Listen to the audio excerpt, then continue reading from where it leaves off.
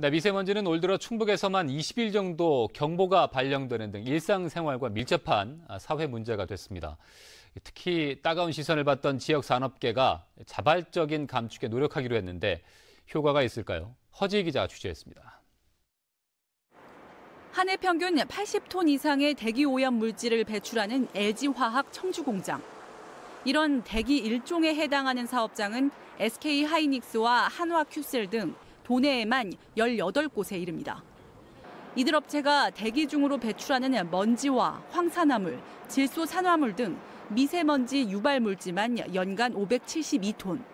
특히 지난해 고농도의 초미세먼지가 발생한 날이 30일 이상이었던 청주에만 13개 업체가 집중돼 있는 만큼 이들 업체들은 미세먼지 발생 원인에서 자유롭지 못합니다.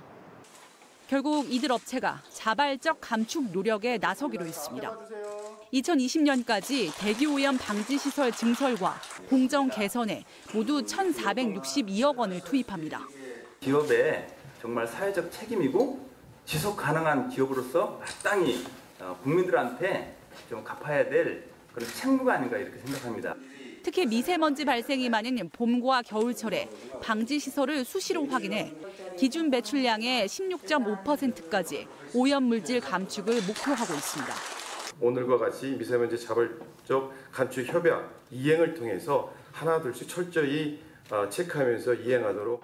하지만 이들 업체의 감축 노력만으로 효과가 나타날진 장담하기 어렵습니다.